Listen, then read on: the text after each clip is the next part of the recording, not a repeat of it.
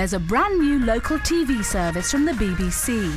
Digital viewers can watch it free by pressing red on BBC One, selecting local TV, then choosing your local area. Here you'll find truly local stories about people, news, sport and entertainment. This is how it works. Every 10 minutes a new local programme starts. They'll always begin at the same time every hour of every day. Just remember your local start time. Press red and get more local.